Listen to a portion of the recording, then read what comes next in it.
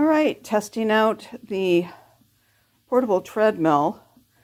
I really like this a lot. It was easy to put together. I'm on just level one right now, which is way lower than my normal speed. You can see the screen down near the floor and it's up here, easy controls. Uh, these are speed controls. You can go right to level three or seven. You can slow down.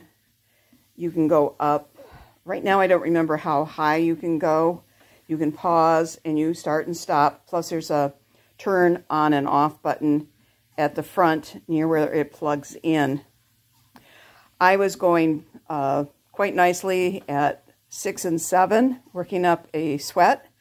Uh, I'm in my 70s, so uh, I didn't go higher than that. I can walk on it without I'm going to turn it off. I can walk on it without holding on, but I don't feel really secure, especially at the um, higher speeds.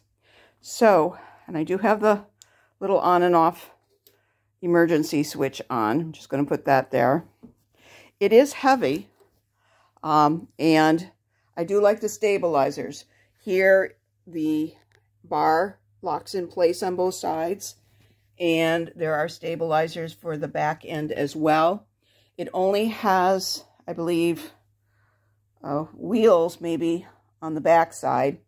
So it isn't the easiest to move around. It's easy to put together. We just fold it up and put it under a bed.